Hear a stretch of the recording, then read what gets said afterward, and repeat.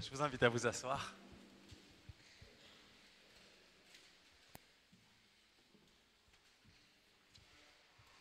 Je vous propose euh, ce matin d'étudier un, texte ensemble de l'évangile de Matthieu. C'est au chapitre 22 et c'est les 14 premiers versets. On va le prendre euh, la lecture ensemble.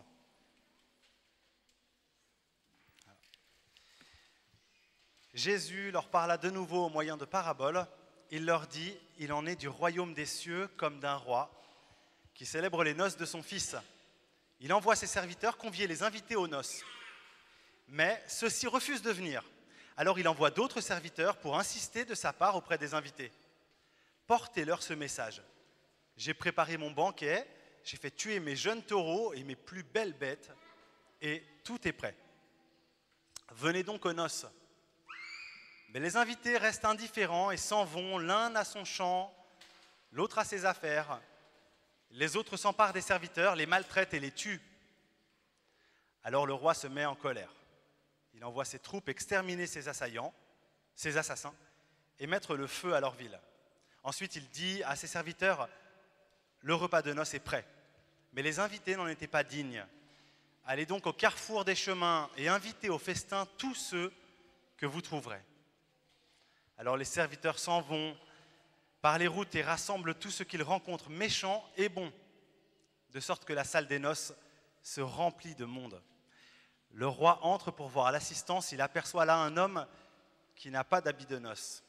Mon ami, lui demande-t-il, comment as-tu pu entrer ici sans être habillé, comme il convient pour un mariage?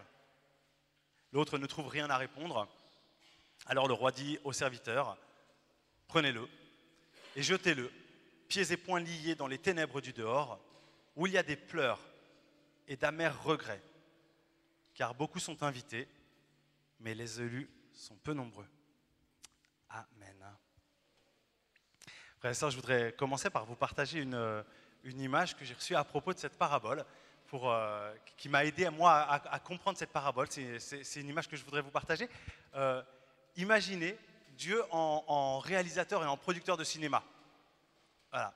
High level, évidemment. hein, euh, Tous les Oscars pour lui. C'est au-dessus de Mel Gibson, de euh, Spielberg et compagnie. C'est vraiment le, scénariste euh, le, le- le meilleur de, tous les temps. Sauf qu'il ne fait pas du tout un scénario avec baston, adultère et compagnie. Il fait un scénario qui est un scénario extraordinaire dans lequel il veut que tout le monde prenne sa place, joue un rôle mais en même temps qu'il est réalisateur et producteur, il s'est quand même réservé le premier rôle.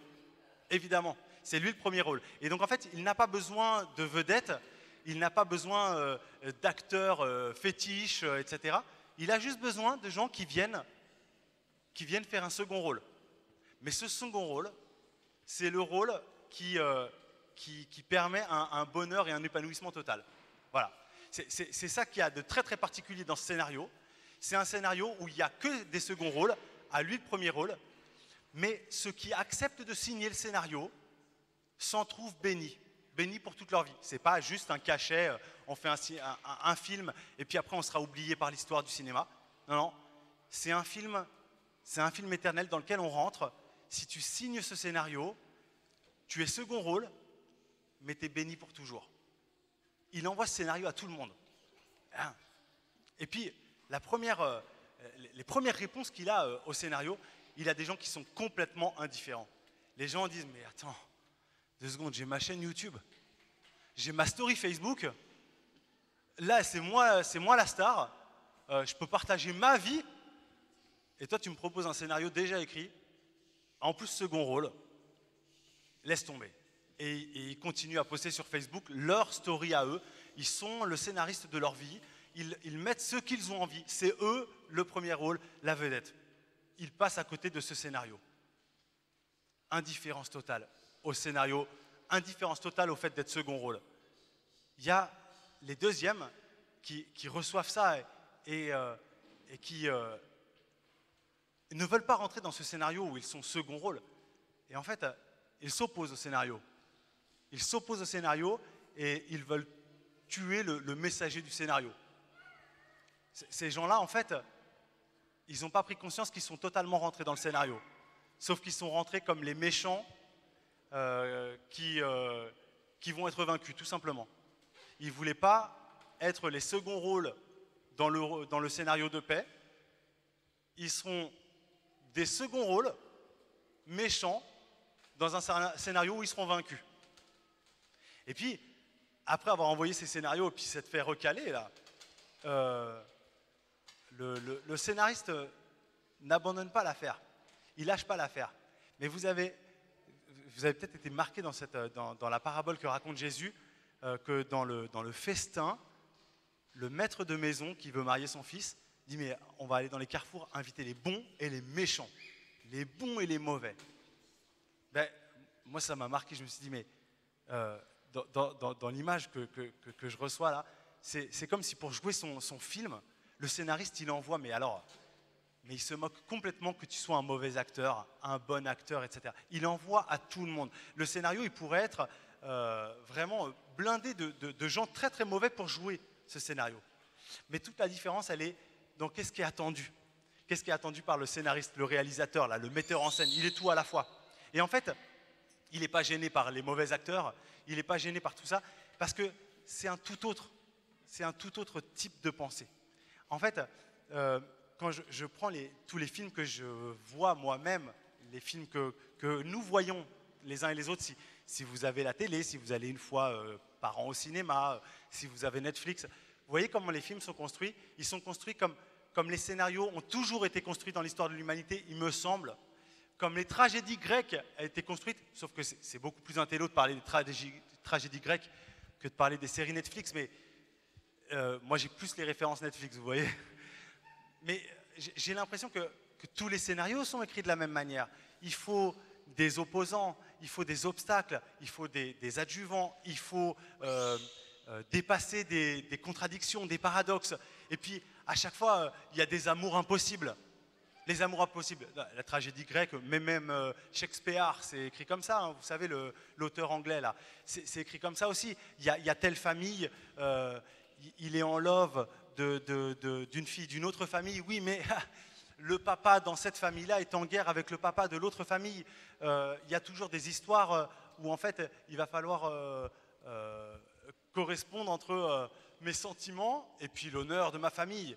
Et puis c'est ça qui fait les tragédies c'est des paradoxes, c'est des choses impossibles. C'est comme ça qu'est construit euh, n'importe quel scénario. Si vous regardez euh, les scénarios Netflix, à chaque fois tu te dis, là, il pourrait être heureux.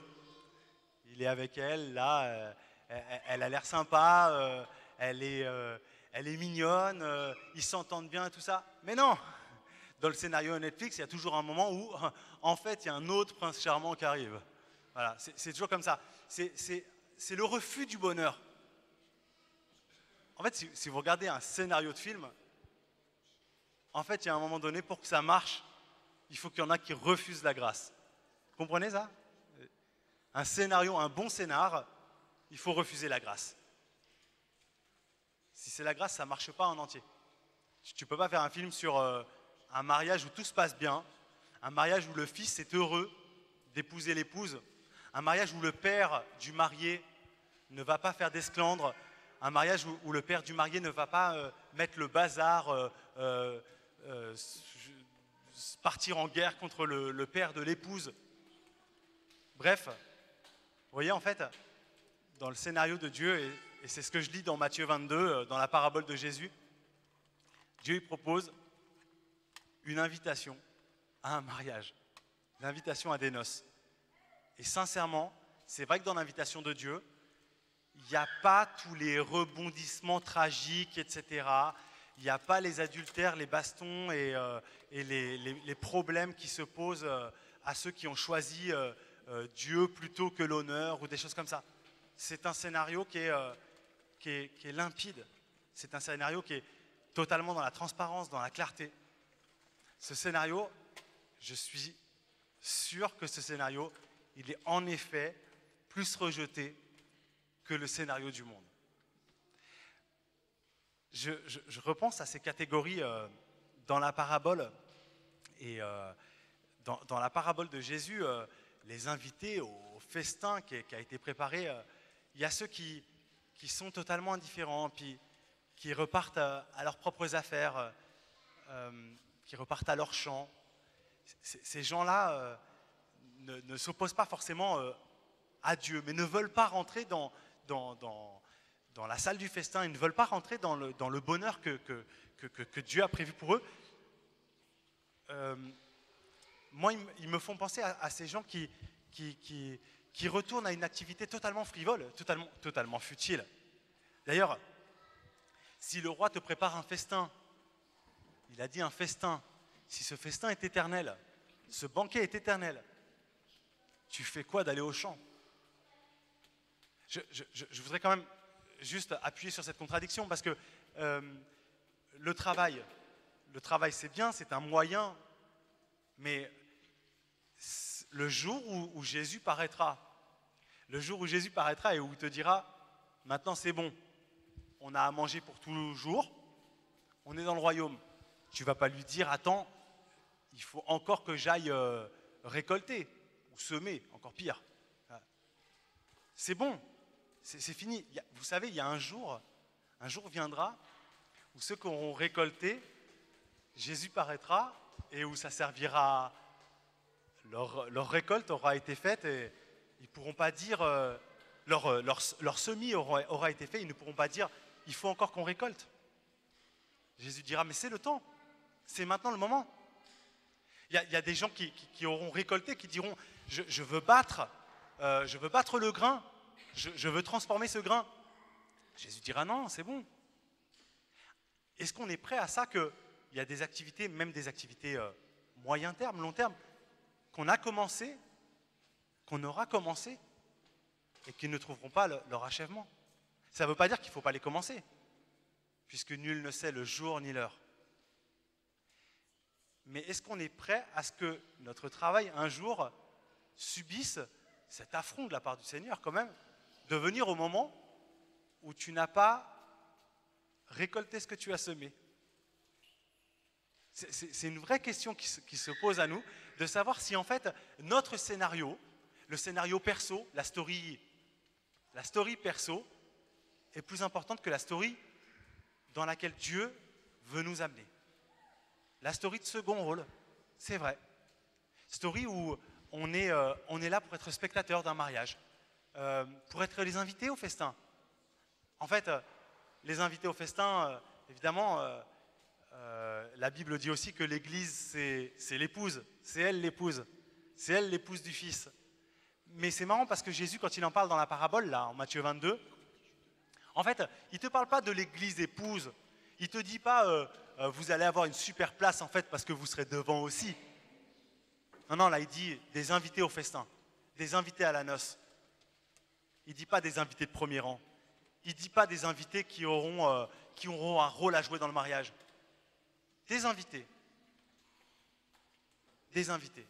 Est-ce que tu préfères ce second rôle avec Dieu ou le premier rôle dans ta story perso qui peut mener à rien? C'est vraiment une question. Qu'est-ce qu'on est prêt à jouer comme rôle, comme histoire Dans quelle histoire tu veux rentrer? Ton histoire futile ou l'histoire de Dieu? Mais tu ne peux pas avoir le premier rôle dans l'histoire de Dieu. Tu n'es pas l'acteur principal. Je ne suis pas l'acteur principal. J'accepte de jouer un scénario écrit à l'avance. J'accepte de jouer à ma place, à mon rôle. Il y a ceux qui, qui sont tellement fâchés en fait qu'on leur dise que l'histoire est écrite, qui se rebellent contre Dieu, qui se rebellent contre celui qui, qui leur annonce cette mauvaise nouvelle. Non, l'histoire n'est pas écrite, et moi, je vous le dis, je vais aller me battre avec celui qui est censé avoir écrit l'histoire. Mais tu fais partie du plan. tu fais partie du plan, mais c'est dommage parce qu'en fait, euh, j'aurais pu ne pas avoir de rebelle, mais en fait, tu es le rebelle, tu es le méchant dans le film. Et tu as perdu. C'est ça qui est incroyable. Tu, on peut, fait, vous savez, les amis, on ne peut pas se révolter contre Dieu.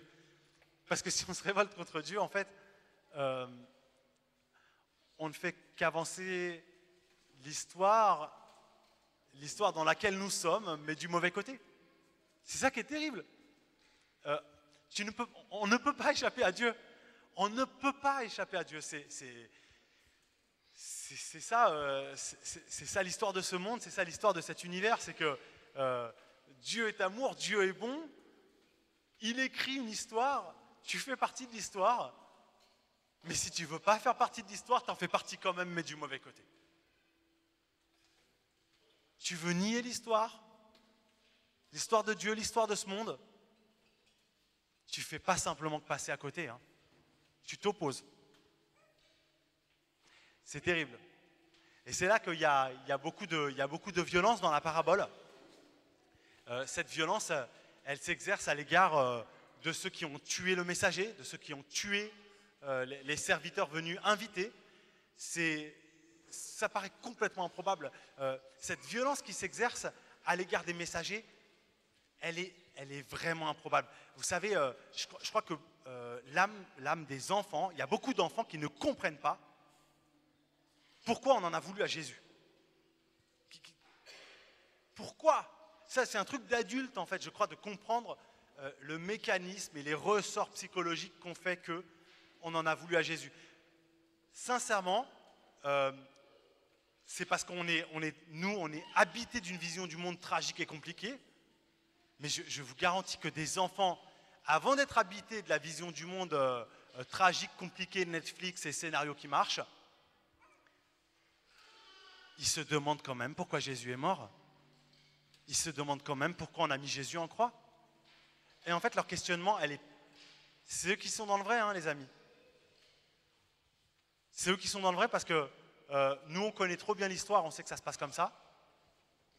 Mais sincèrement, mais c'est quoi ce scénario de dingue où en fait on tape le gentil, on tape celui qui, euh, qui est venu nous apporter la paix on tape celui qui est venu guérir. Et en fait, les adultes euh, arrivent petit à petit à comprendre ça quand ils veulent bien mettre euh, leurs yeux et ouvrir leurs yeux sur les scénarios complexes et sur, les, sur les, la réalité de ce monde, que en effet ça existe. Il y a, ces situations ne sont pas que fabulées où, euh, où, l'innocent est accusé, où, où les, les, bons sont mis en, sont mis en difficulté par, euh, par les méchants, où l'irrationalité, euh, l'irrationnel surgit comme ça, il surgit. C'est vraiment un surgissement, cet irrationnel démoniaque. Hein. Il surgit et il vient pourrir une situation normale, pourrir une situation saine. On avait tout pour être heureux, mais non, on va, être malheureux. Vous connaissez ces situations? Bien sûr. On avait tout pour être heureux, tout pour que ça se passe bien, mais il y a un moment donné de bascule où il y a ce choix de l'irrationnel. Non hein On va faire en sorte que ça se passe mal. On va, on va pourrir le scénario. Pourquoi? Il n'y a pas d'explication. Il n'y a pas d'explication. C'est comme ça, c'est pour le cinéma c'est pour le cinéma de ma vie. Et on tape le messager. C'est vraiment quelque chose sur, lequel on, doit vraiment être vigilant, parce que euh, parce qu'en fait, paradoxalement, euh, euh, cette chose peut, arriver vraiment à, n'importe qui de, venir, de venir mettre du, du complexe et de l'embrouille là où il n'y en a pas. Je, je, je, crois vraiment, vous savez, au fait que le péché est une puissance. Le péché n'est pas simplement une, mauvaise action, euh, euh, un moment d'erreur et, d'égarement euh, dans lequel un, chrétien s'est trompé, ah j'ai péché, c'est pas grave, je vais revenir. Le péché est une puissance. Le péché est une puissance tapis à notre porte. Et, cette puissance cherche à nous dévorer. Cette puissance cherche à nous, à nous faire débloquer.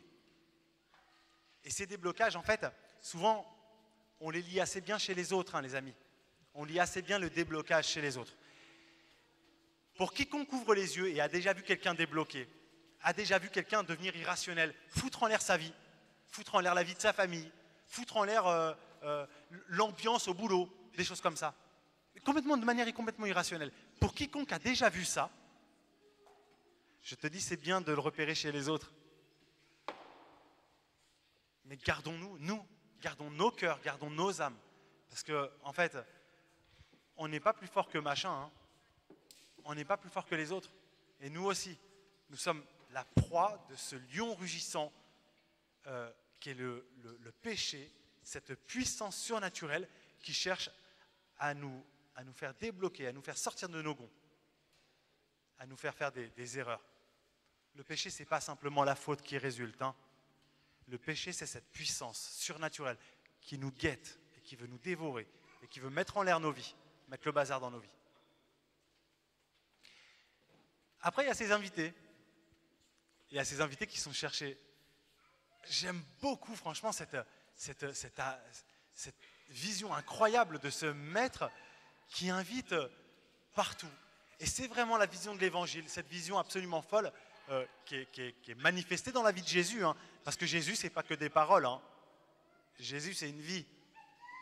Jésus, c'est la vie de Dieu hein, sur cette terre. Et ce qu'il a dit, il l'a mis en pratique. Et lui, il est allé chercher les bons et les méchants. Les méchants, euh, les méchants selon, euh, selon ce que le monde appelle des méchants. Mais en fait, en fait il est allé chercher des vrais méchants. Il n'est pas allé chercher que des gens dont on disait qu'ils étaient méchants. Jésus est vraiment allé chercher des méchants. Cette audace-là, elle est, elle est profonde, elle est manifeste, elle est réelle parce que c'est exactement ce que Jésus a fait. Il est allé faire ça. Et il a fait rentrer des, méchants dans le royaume. Parce que ces méchants se sont ouverts à la grâce de Dieu.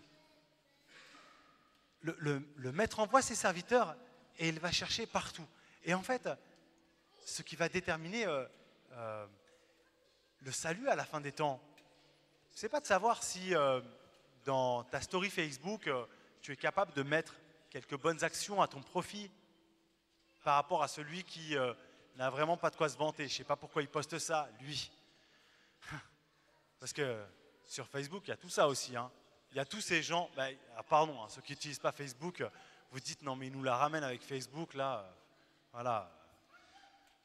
Sur Facebook, alors je vous apprends le truc, c'est qu'en fait sur Facebook, tu dis que tu es ami avec des gens pour voir ce que eux ils mettent comme truc, mais en fait sur euh, tes 1000 amis, tu en as 30 avec qui tu es vraiment ami, et tous les autres, euh, en fait, c'est de l'espionnage, mais de l'espionnage consenti.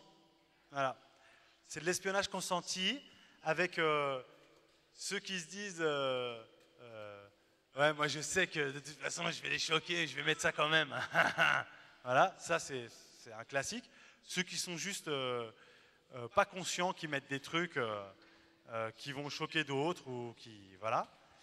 Et puis il y a le regard de ceux qui, tu vas espionner. Déjà, euh, je sais qu'il y a des gens qui travaillent dans le monde des entreprises et tout ça, ou qui font des embauches.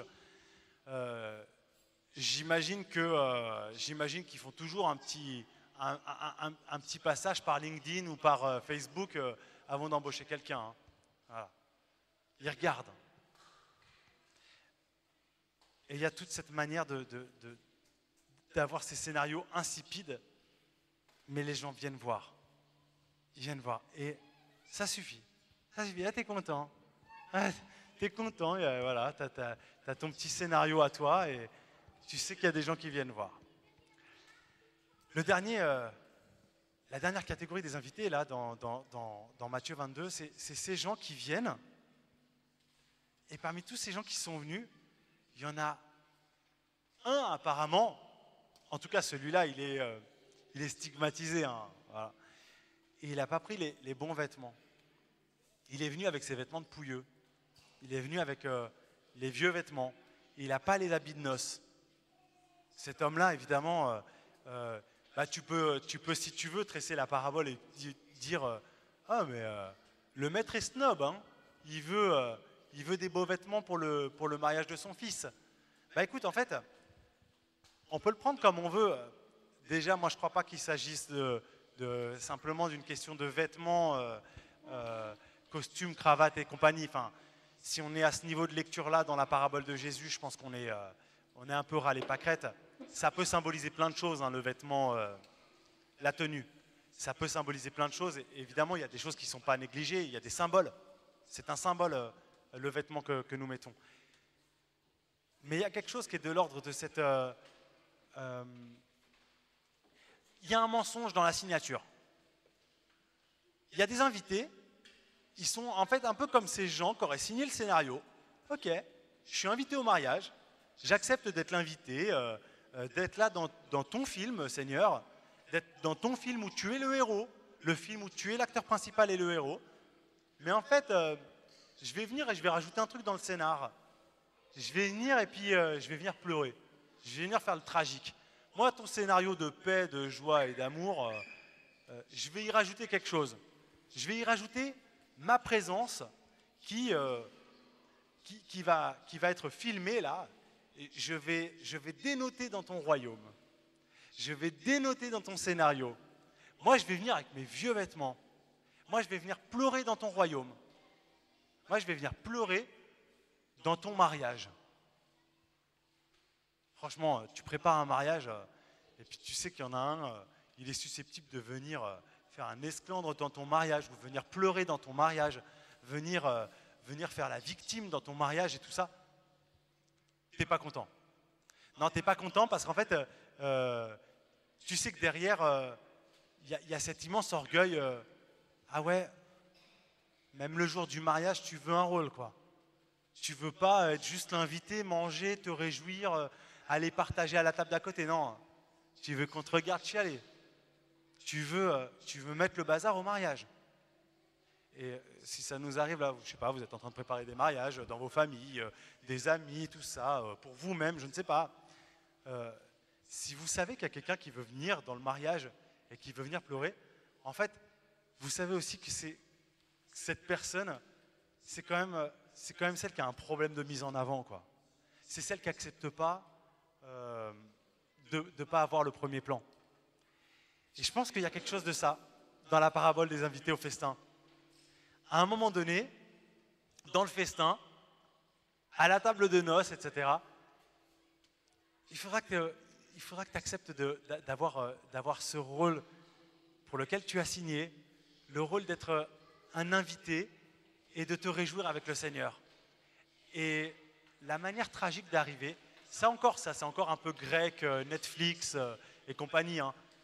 Tu arrives dans le scénar et tu veux venir mettre du bazar, pleurer. C'est pas possible. La victimisation fait partie de ça. C'est c'est en ça que la victimisation fait partie du péché. La victimisation euh, et le refus de la grâce. Le refus de la grâce fait partie de la structure du péché et en fait elle manifeste que le lion rugissant, cherchant qui dévorer, nous a saisis aussi. C'est qu'en fait il y a le refus du scénario de grâce. Il y a un refus de passer au deuxième plan. Il y a un refus de mettre le Seigneur à la première place. C'est ça qui est dingue. C'est ça qui est dingue. C'est qu'en fait, dans les manières de ne pas accepter le festin des noces de l'agneau, dans les manières de ne pas signer et de s'engager sur ce qu'on a signé avec le Seigneur, c'est un combat entre une vision tragique du monde, mais dans laquelle nous avons notre place, une première place, et la vision de la grâce dans laquelle nous avons la deuxième place. La deuxième. Et c'est le choix que nous avons devant nous tous les jours. Le choix que nous avons devant nous tous les jours. C'est vrai qu'avec le Seigneur, il y a des choses qui sont préparées. C'est vrai qu'avec le Seigneur, il y a des choses, tu acceptes de ne pas déterminer toi-même ces choses-là. C'est vrai qu'avec le Seigneur, il y a une soumission. Avec le Seigneur, il y a une acceptation d'un rôle écrit pour toi. Seigneur, c'est quoi mon rôle? Mais tu sais que ce rôle-là, c'est le meilleur rôle. Tu sais que ce rôle-là, ce rôle-là, c'est le rôle qui a été préparé pour toi par celui qui sait tout. C'est le rôle qui a été préparé pour toi, pour ta paix, pour ta joie, et de toute façon, il n'y a pas d'autre rôle.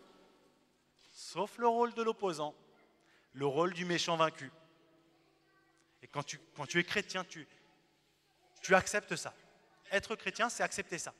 C'est accepter que, que le Seigneur t'a écrit un rôle, que tu vas rentrer dans ce rôle et faire confiance à Dieu. Merci Seigneur, parce que je sais que le rôle que tu as écrit, tu vas me le dérouler, tu vas me donner la fiche de rôle. Et je vais jouer ce rôle. Et ce rôle-là me rendra heureux. Ce rôle-là m'épanouira parce que tu es le bon scénariste. Parce que tu es le maître qui invite. Mais j'accepte. Je plie le genou. Je me soumets à ce rôle, Seigneur. Je lâche le contrôle de ma vie futile. Je lâche des espoirs où je suis au centre. Je, crucifie mon orgueil. Je crucifie mon égocentrisme et, et mon intérêt. J'accepte que les, les regards ne soient pas tournés vers moi, mais, mais vers Dieu. C'est un choix existentiel de premier ordre. De premier ordre. C'est le premier des choix à faire. Et je nous invite à regarder là-dedans. Je nous invite à regarder nous dans le scénar, nous dans l'histoire de Dieu, où nous en sommes. Est-ce que nous, est-ce que nous sommes prêts à cette, à cette soumission qui comporte euh, le fait que nous ne savons pas forcément ce qui se passe après Vous savez, dans les séries, en fait, vous avez vu, euh, parfois à un moment donné, euh, à la série 4 de la saison 2, la série, elle est nulle. Vous savez pourquoi? Parce qu'en fait, les mecs, ils écrivent la série au fur et à mesure. Si ça marche, on fait une saison 2. Si ça marche encore, on fera une saison 3. Mais vu que tu produis au, fur et à mesure, moi, je crois quand même qu'il y a des moments, les scénaristes, euh, ils savent juste pas quoi écrire. Et donc, ils n'ont pas dit aux acteurs euh, ce qui allait se passer. Puis à un moment donné, il y a un des acteurs, il tombe malade, etc. Ah, c'est pas grave. Dans cet épisode, euh, le mec, euh, il était en voyage. Mais donc tu ne sais pas forcément ce qui est écrit à l'avance. Bah là, avec Dieu, il y a quand même quelque chose de cet ordre-là. Tu ne sais pas exactement ce qui est écrit à l'avance, mais tu fais confiance. Tu sais que c'est bon pour toi. Je nous invite à ce choix-là, où c'est pas nous qui écrivons la série, où c'est le Seigneur. Nous, on joue le rôle, on joue notre rôle. C'est une crucifixion de l'orgueil, c'est une crucifixion de nos espoirs d'être au centre, d'être à la première place. Je voudrais juste qu'on prenne euh, deux minutes, chacun, dans le silence. Et en fait, dans, ce silence, je vais, je vais vous poser cette question, cette parabole. Euh, est-ce que j'ai est-ce que j'ai déjà reçu les émissaires du prince, les émissaires du roi? Et comment je les ai reçus la dernière fois qu'ils sont venus? J'en suis où? Le bilan de ma vie. La première question, c'est ça. J'en suis où? Est-ce que je suis de la tendance... Euh, est-ce que j'ai signé le scénario du roi? Est-ce que j'ai répondu oui à l'invitation? J'ai donné ma réponse au roi? Ou est-ce que pour l'instant j'ai fait l'indifférent? Ou est-ce que je me suis battu? Ça, c'est la première question. Est-ce que j'ai signé? Est-ce que j'ai répondu oui à l'invitation? Et la deuxième question que je vous invite à vous poser, si tu as signé le scénar, si tu as répondu oui à l'invitation, tu as préparé ton manteau. Et quel manteau? Le manteau où on va te voir dans le mariage, le manteau où tu pourras te mettre en avant dans le mariage qui n'est pas le tien, ou le manteau qui fait de toi un invité au festin des noces de l'agneau, un invité prestigieux, comme les autres C'est les deux questions que je vous pose, que je me pose à moi-même. Je vous invite à réfléchir à ces deux questions. On va prendre deux minutes de silence, trois minutes, et puis vous finirez chez vous, si vous avez besoin de plus de temps. Amen.